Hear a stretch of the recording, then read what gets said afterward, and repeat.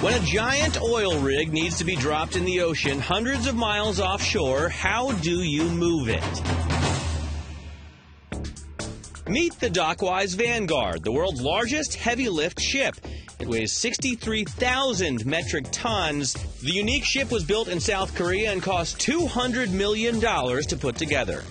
The Dockwise Vanguard is 900 feet long and 230 feet wide. It can carry up to 110,000 tons of weight. That's more than the weight of the Eiffel Tower. The ship works by moving alongside its cargo, filling its ballast tanks with water, and submerging to 50 feet below the surface. From there, it maneuvers beneath the cargo and empties its ballast tanks, rising back to the surface and lifting the heavy cargo with it. The ship can travel up to 16 miles an hour with the massive cargo on its deck and can also act as a dock for ocean going maintenance crews.